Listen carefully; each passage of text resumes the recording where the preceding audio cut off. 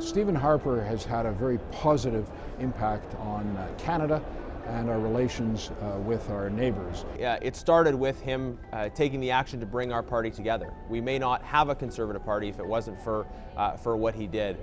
He's left us with a united party that is a strong fiscal conservative base. I think for me is united the right and also signing a lot of free trade agreements. The most important one is the one with the European Union. I think it's going to have to be the fact that he brought in new members like myself.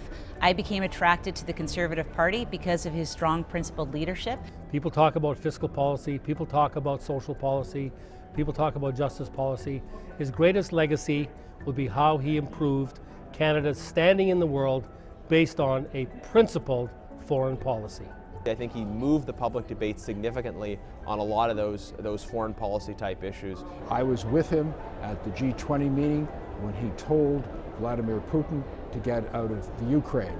I was with him in Jerusalem at the Knesset uh, when he gave his historical address uh, to the Israeli uh, people. Uh, Stephen Harper had a positive impact on the lives of Canadians, their, their pride, their values, and their standard of living.